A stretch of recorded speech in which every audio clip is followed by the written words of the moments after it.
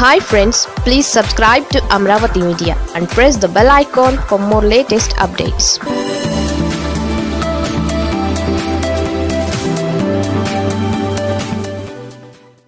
JD Lakshminarayana క్రొత్త అవతారం. ఎవరి కోసమో తెలుసా?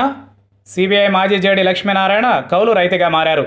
ఉగాది పండుగను పురస్కరించుకుని తూర్పుగోదావరి జిల్లా ప్రత్తిపాడు మండలం ధర్మవరంలో దుక్కి దున్ని ఆయన ఏరువాక ప్రారంభించారు.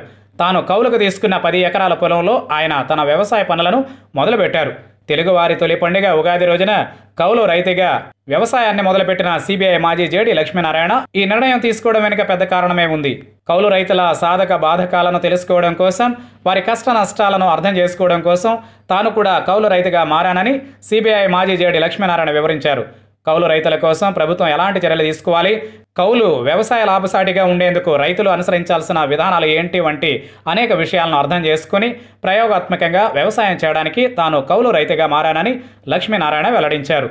ఏపీలో కౌలు రైతుల స్థితిగతులు తెలుసుకునేందుకు మెట్ట ప్రాంతంలో స్వయంగా తానే కౌలుకు వ్యవసాయం చేస్తున్నట్లు సిబిఐ మాజీ జేడి లక్ష్మీనారాయణ వివరించారు.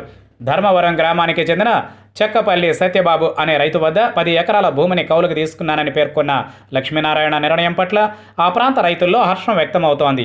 సిబిఐ మాజీ జేడీగా ఉద్యోగ విరమణ చేసిన అప్పటి నుంచి రైతు సమస్యలపై అధ్యయనం చేస్తున్న లక్ష్మీనారాయణ ఇప్పటికే వేలాది మంది కౌలు రైతులను కలిసి వారి కష్ట సుఖాలను తెలుసుకున్నారు. రాష్ట్రంలోని అన్ని ప్రాంతాలలో పర్యటించి రాష్ట్ర ఆర్థిక స్థితిగతులను రాష్ట్రంలోని వ్యవసాయ పరిస్థితులను అధ్యయనం చేశారు. ఇక ఇప్పుడు కౌలు రైతుగా మారి కౌలు రైతుల కష్టాలను తెలుసుకోవడానికి వ్యవసాయం చేస్తున్నారు.